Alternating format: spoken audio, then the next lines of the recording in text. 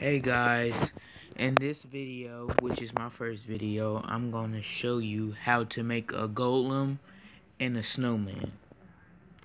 So I'm going to my world.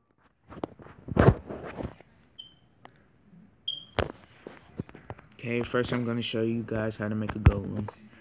You go two blocks up, two iron blocks up, one block on each side then a jack-o'-lantern for his head, then there you go. For the snowman, you go two snow blocks up and a jack-o'-lantern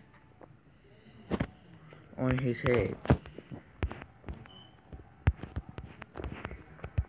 Well, that's it for this video. In my next video, I'm going to show you a tour of this house I downloaded, I mm, added some furniture to it to make it look a little bit better and made a secret door for my man cave.